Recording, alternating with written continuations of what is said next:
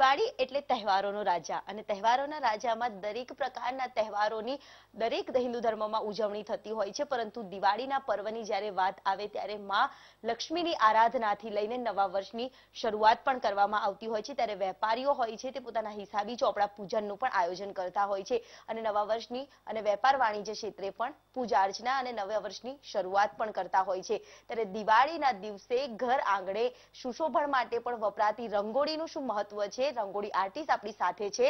એમની સાથે જ વાત કરીશું. બેનનું નામ છે ભાગ્યશ્રીબેન અને સીધી વાત આપણે એમની પાસે જ કરીએ કારણ કે હિન્દુ ધર્મમાં રંગોળીનું એટલું જ મહત્વ છે.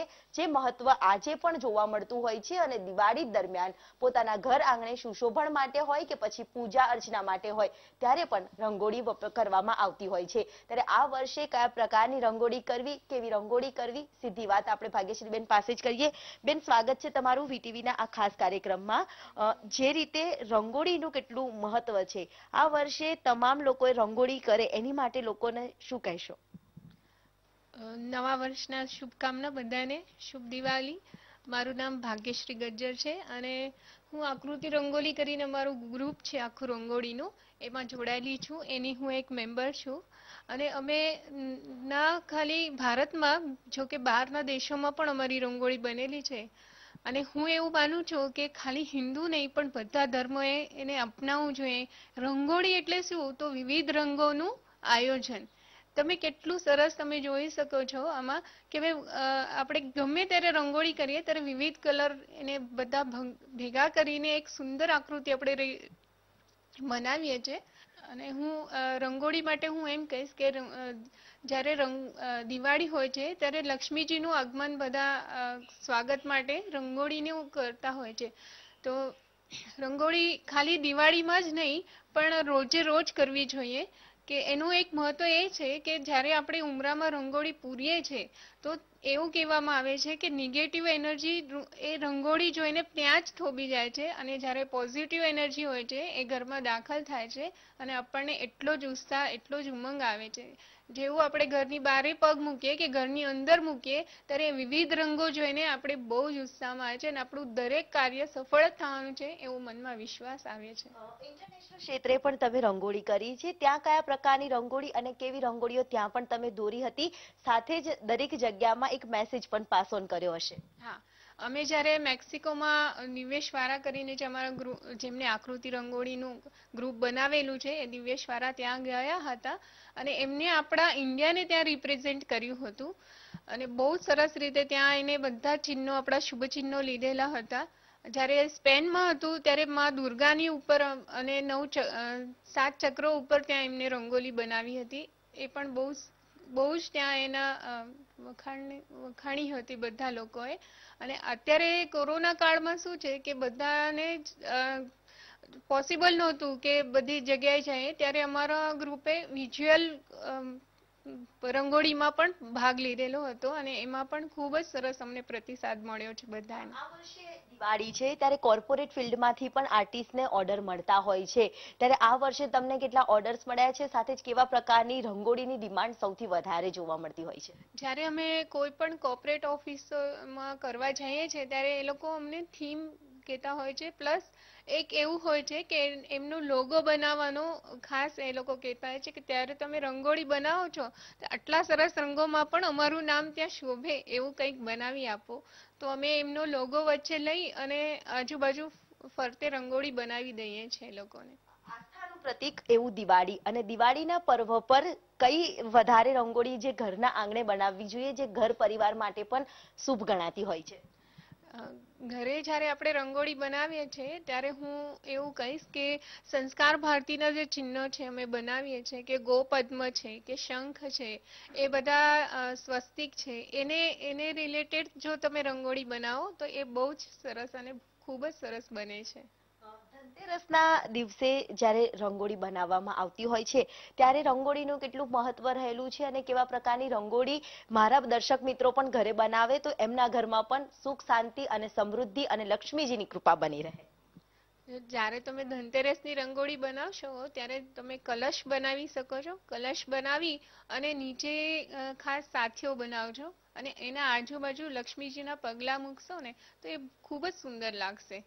લક્ષ્મીજીની કૃપા બની રહે એની માટે સાથે ચોપડા પૂજન પણ થતું હોય છે. નવા વર્ષનું વેલકમ પણ લોકો કરતા હોય છે અને ઘણા લોકો ઘરે પણ મળવા આવતા હોય છે નવા વર્ષના અભિનંદન પાઠવવા. ત્યારે ઘરમાં પણ શોભે ત્યારે એવી રંગોળી બનાવવાની હોય છે. ત્યારે કેટલો સમય લાગતો હોય છે એવી પ્રકારની રંગોળી બનાવવા માટે.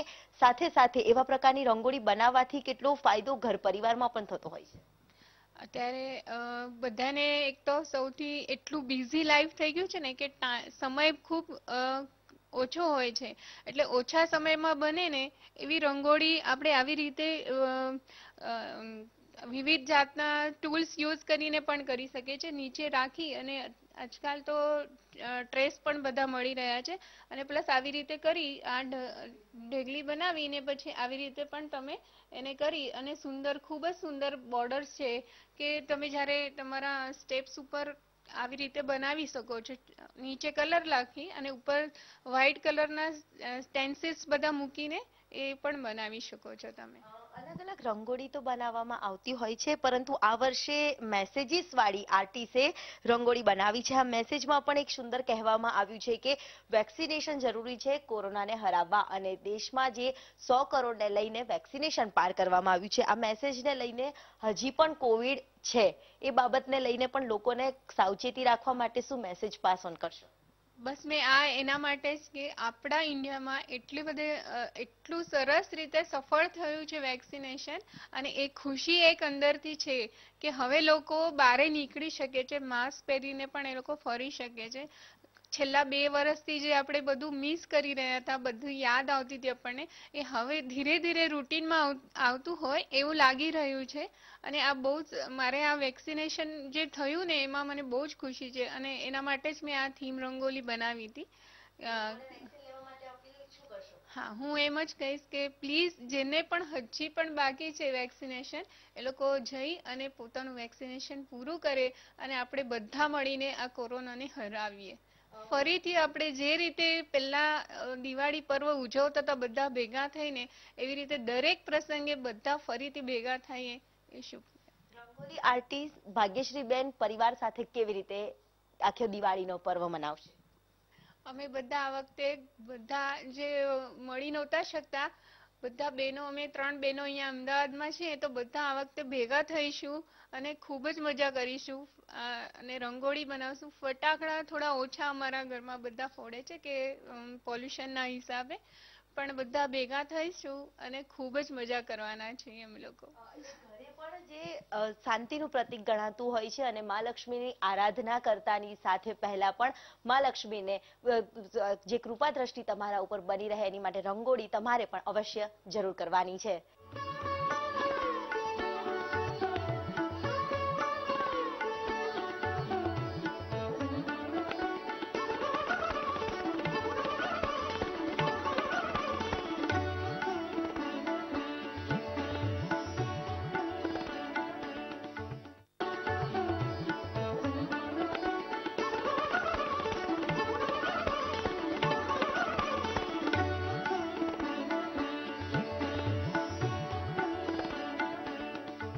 દીપોત્સવનું પર્વ એટલે દીપાવલી. અને દીપાવલીના દિવસે જેમ દીવાનું મહત્વ છે, તેમ રંગોળીનું પણ ખૂબ મહત્વ રહેલું છે. અને અમદાવાદમાં ઘરે ઘરે મા લક્ષ્મીજીની આરાધના અને પૂજા અર્ચના કરવા માટે પણ દર વર્ષે દિવાળી દરમિયાન રંગોળી ઘરોમાં પુરાતી હોય છે. અને આ જ રંગોળીના મહત્વની સાથે તમામ જે નેગેટિવ જે વેવ્સ ઘરની અંદર આવતા હોય તે પણ અટકે અને પોઝિટિવ વેવ્સ આવે તેવા ઉદ્દેશ્ય સાથે અમદાવાદમાં દિવાળીના પર્વ પર ઘરે ઘરે દિવાળીના દીવા તો મુકાતા જ હોય છે, પરંતુ અવનવી ડિઝાઇનર રંગોળીઓ પણ ઘર આંગણે પૂરવાનું જે વિશેષ મહત્વ છે, સાથે જ નવા વર્ષમાં વેલકમ કરવા માટેના પણ તમામ જે થીમ રંગોળીઓ છે, તે પણ હવે ઘર આંગણે દોરવામાં આવી રહી છે. કોવિડ ગાઈડલાઇનના તમામ જે વેક્સિનેશનના થીમવાળી રંગોળીઓ કોક દોરી રહ્યું છે, તો કોક ઘર આંગણે વેલકમ કરતા ફૂલોની સાથે અલગ અલગ ડિઝાઇનર રંગોળીઓ પણ કરતા ઘરના પરિવારોમાં અમદાવાદમાં હવે આ પ્રકારનો એક નજારો છે સુંદર તે જોવા મળી રહ્યો છે. આમ તો